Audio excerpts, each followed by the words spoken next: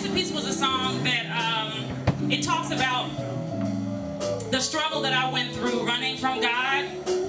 You know, God was wanting me to be at a standstill so He could tell me some things about myself and where He wanted to plant me. And I just wanted to do my own thing. My mama tell you I'm hard headed. um, but he, he he's he's patient. We, you know, we serve a patient God and a faithful God and a forgiving God, and so he kept on kind of just pushing me and pushing me and pressing me and pushing me and um, and this is where I am now because of that. So I hope y'all enjoy this song. Listen to the words. I'm big on my words. Um, I hope y'all enjoy. So here we go.